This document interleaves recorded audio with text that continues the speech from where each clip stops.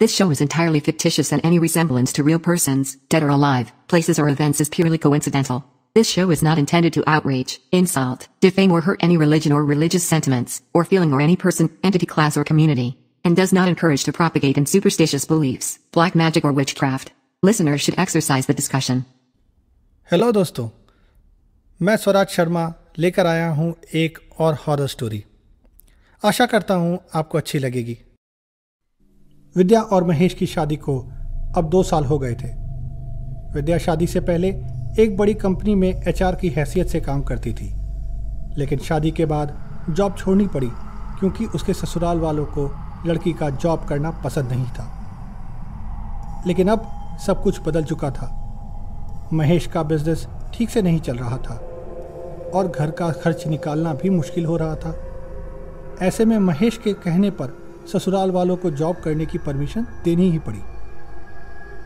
एक दिन विद्या को किसी कंपनी से कॉल आया। वो एक स्टार्टअप थी।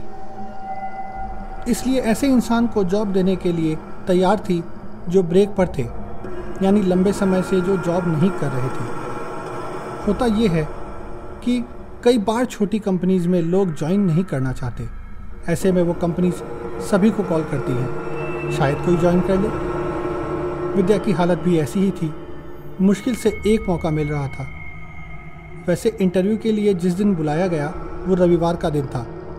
ये सोचकर विद्या को थोड़ा अजीब तो लगा, लेकिन फिर उसने सोचा कि लोगों को इंटरव्यू के लिए आने में सुविधा रहे। शायद इसलिए रविवार को बुलाया होगा। वो दिन आया। थोड़ी खुशी और थोड़ी चिंता लिए महेश अपनी बाइक से विद्या को इंटरव्यू वाली जगह पर ले गया। अभी शाम के चार बज रहे थे। महेश अपनी पत्नी से बहुत प्यार करता था और जानता था कि आज का दिन विद्या के लिए और घर के लिए बहुत बड़ा था। इसलिए खुद अपनी पत्नी के साथ गया और उसका मनोबल भी बढ़ाया। वो लोग इंटरव्यू वाली जगह पर पहुँचे। ये एक बिल्डिंग थी जो थोड़ी पुरानी लग रही थी। देखकर ही समझ आता था कि जगह सस्ते में मिली होगी, इसलिए नई कंपनी ने ले ली। वहाँ सड़क भी सुनसान थी और बिल्डिंग के बाहर भी कोई नहीं था। रविवार की झलक पूरी तरह दिख रही थी। महेश ने बाइक वहीं बाहर लगा दी और विद्या से बोला, तुम जाकर आओ, मैं यहीं बाहर वेट करता हूँ। विद्या मान गई और मेन गेट से अंदर की ओर चली गई। अंदर अंधेरा सा था। आज बिल्डिंग में सारे ऑफ़िस बंद थे, इसलिए लाइट की ज़रूरत तो थी नहीं। बस एक बल्ब जल रहा था। जिससे थोड़ा बहुत दिख रहा था।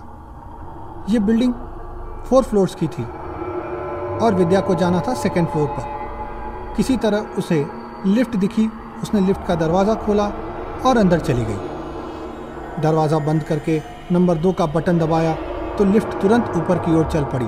लेकिन ये क्या? लिफ्ट सेकेंड फ्लोर पर रुकी नहीं, बल्कि और ऊपर जाती रही जाती रही। लग रहा था जैसे बिल्डिंग में चार नहीं, दस फ्लोर्स हों। विद्या बहुत घबरा गई, चिल्लाने लगी, लेकिन उसकी कौन सुनता? ये तो लिफ्ट थी। अचानक लिफ्ट रुकी और कुछ सेकंड का सन्नाटा। विद्या सोच ही रही थी कि क्या करे, तब तक लिफ्ट फिर से चल पड़ी और अब की बार नीचे की ओर जाने लगी। वो भी बहुत ही तेज़ी से। विद्या को लगा, आज कोई हादसा होगा। अचानक लिफ्ट सेकेंड फ्लोर के पास आकर रुकी और विद्या को ज़ोर का झटका लगा।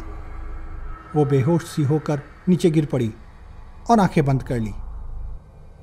थोड़ी ही देर में किसी ने लिफ्ट का दरवाज़ा खोला। ये कोई बड़ा आदमी लग रहा था। उम्र होगी करीब पैंतालीस। देखने में पढ़ा लिखा और हैंडसम। मुस्कुराते हुए बोला, आप ठीक हैं? आइए, बाहर आइए। और उसने विद्या का हाथ पकड़कर बाहर निकाला। ये सेकेंड फ्लोर था। विद्या ने देखा, लिफ्ट से निकलते ही उसी कंपनी का नाम लिखा था, जहाँ उसे इंटरव्यू के लिए आना था। वो आदमी बोला, मेरा नाम योगेंद्र है। मैं इस कंपनी का सीईओ हूँ।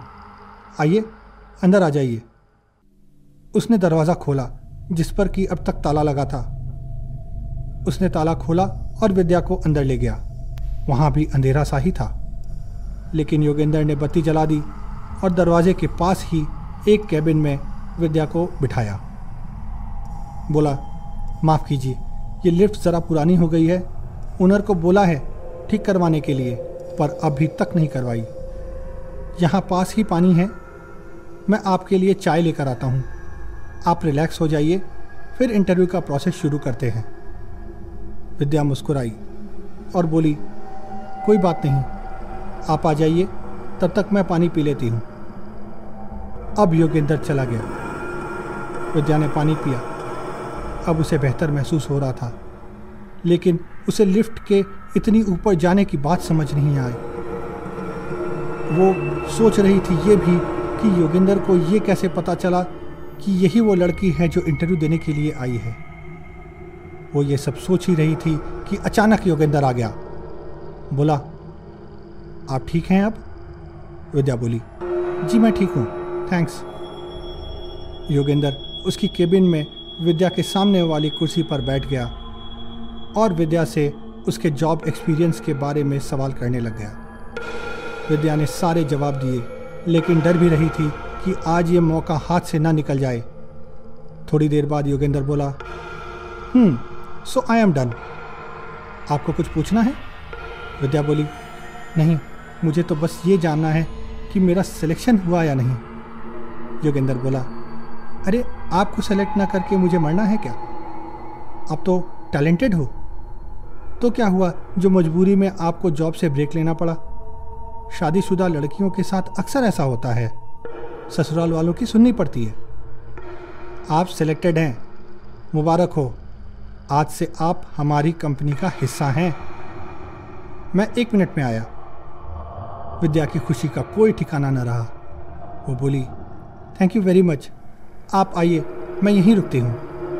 और उसने तुरंत महेश को फ़ोन मिलाया। उसी सारी बात बताई। महेश भी खुश हो गया और बोला, अरे वाह, ये तो बहुत खुशी की बात है। तुम जल्दी से आ जाओ, फिर घर चलकर सबको बताते हैं। विद्या बोली हाँ ठीक है। और फ़ोन रख दिया। विद्या बैठी बैठी ये सब सोच ही रही थी। कि अचानक उसके दिमाग में एक बात आई। उसने तो योगेंद्र को मजबूरी में जॉब छोड़ने की बात बताई ही नहीं थी। उसने तो झूठ बोला था कि वही जॉब नहीं करना चाहती थी, इसलिए खुद ही जॉब छोड़ी थी। फिर योगेंद्र को कैसे पता? उसे ये बहुत ही अजीब लगा। लेकिन उसने सोचा, अनुभवी आदमी है, शायद पता लग गया होगा। वो सोच ही रही थी कि उसने देखा केबिन में एक लड़का आया। दुबला पतला टाई पहनी। उसके दांत बाहर की ओर निकले हुए थे। उसने विद्या को बोला कॉन्ग्रेचुलेशन मैम मैं यहाँ का sales manager cum facility manager हूँ। छोटी कंपनी है ना, सारे रोल हमें ही देखने होंगे। खैर, अब आप आ गई हैं। आप लोगों को फ़ोन करके इंटरव्यू के लिए बुलाएँगी तो लोग ज़रूर आएँगे। मेरी आवाज़ सुनकर तो लोग आना ही नहीं चाहते। ये बोलकर वो अजीब तरह से हंसने लगा। विद्या को याद आया कि फ़ोन इसी ने किया था, पहली बार, और यही आवाज़ थी। लेकिन वो सोच रही थी कि दरवाजे पर तो ताला लगा था, और उसने इसे अंदर आते हुए भी नहीं देखा। फिर ये अंदर कैसे आया? और नहीं आया तो क्या ये बंद ऑफ़िस में अंदर बैठा था? अब विद्या डर गई। लड़का बोला, मैं आपका आईडी कार्ड और ऑफ़र लेटर प्रिंट करके लाता हूँ। विद्या को लगा, वो उससे उसके डिटेल्स पूछेगा। लेकिन ये क्या? लड़का तो ऐसे ही चला गया और दो मिनट में वापस आ गया। उसके हाथ में ऑफ़र लेटर और आईडी कार्ड था, जिस पर विद्या की फ़ोटो लगी थी। उसने तो कोई फ़ोटो ली भी नहीं, फिर आईडी कार्ड पर कैसे लगा दी? और और प्रिंटर की आवाज़ भी नहीं आई। उसे लगा शायद पहले से ही प्रिंट करके रखा होगा कहीं से। लेकिन ऑफ़र लेटर और आईडी कार्ड बिल्कुल गर्म थे, जैसे अभी ही प्रिंट हुए हों। वो लड़के से कुछ पूछती, इससे पहले ही लड़का बोला तो काम शुरू करें। और उसके बोलते ही लाइट बंद हो गई। विद्या चिल्लाने लगी ज़ोर ज़ोर से, लेकिन मानो उसकी सुनने वाला वहाँ कोई नहीं था। कुछ देर बाद सिर्फ़ सन्नाटा। सन्नाटा ही रह गया और दरवाज़ा अपने आप बंद हो गया। इधर महेश नीचे खड़ा परेशान हो रहा था। विद्या को अंदर गए चार घंटे हो गए थे और विद्या का फ़ोन भी नहीं लग रहा था। वो अंदर जाने ही वाला था कि उसे एक गरीब आदमी मिला जो शायद वहीं नीचे सोता था। उस आदमी ने बहुत पी रखी थी और नशे में धुत था। अब तक रात के आठ बज चुके थे। उसने उस आदमी को सारी बात बताई। आदमी बोला, अरे साहब, किसी ने आपके साथ मज़ाक किया होगा। ये कंपनी तो कब की बंद हो चुकी है? जब से उसके मालिक को इसी ऑफ़िस में हार्ट अटैक आया था।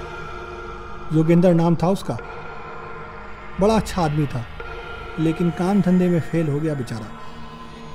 कर्जे में डूबकर जान चली गई। महेश, ये सुनकर मानो बेहोश हो गया। किसी तरह अपने आप को संभाला और बोला, लेकिन लेकिन भैया, मेरी वाइफ तो यहीं अंदर गई थी और उसने फ़ोन भी किया था। आदमी ने महेश को अजीब तरह से देखा और बोला, क्यों मेरा नशा उतार रहे हो? कुछ दिन पहले एक दुबला पतला लड़का आया था। वो भी अंदर गया और फिर उसके घर वाले आकर मुझे परेशान कर रहे थे कि वो कहाँ है।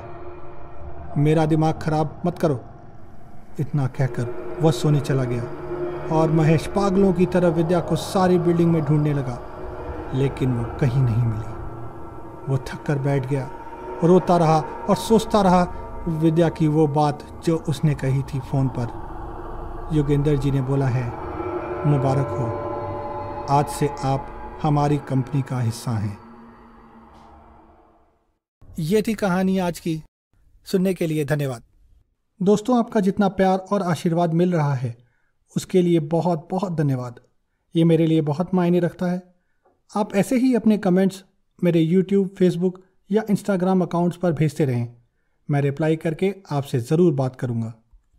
दोस्तों, आप मुझे फॉलो कर सकते हैं यूट्यूब पर। मेरा चैनल है Swaraj Sharma one four zero two और इंस्टाग्राम और फेसबुक पर मेरी आईडी है आर्टिस्ट डॉट स्वराज। तो जुड़िए मेरे साथ और दीजिए अपने वैल्यूएबल कमेंट्स